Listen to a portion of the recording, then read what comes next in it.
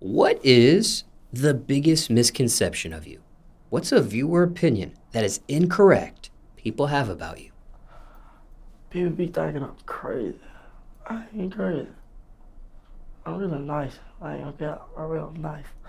I ain't crazy. Everybody be thinking I'm crazy. I ain't crazy. Have you lost or gained opportunities from this misconception? Yeah, a lot of girls be like, they scared to talk to me because I look, look like a killer. I ain't no killer. I don't indulge in those activities. There is a phrase on your Instagram bio. Great, great, grave digger. and it's also tatted on both of your hands. I always wanted to work at a um, cemetery and dig graves. That's what that means. Not nothing like how people think. Not like that.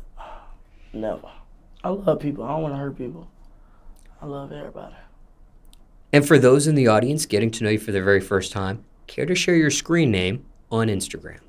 Oh, Larai26. L R Y E 26. Li Rye 26. Do you remember what age you were when you got that hand tattoo or those hands tattooed? I got shit last month. Got were- shit. What's the month before December? November? yeah. Yeah, I got shit in November. And you were 21 at the time, I believe. Mm-hmm.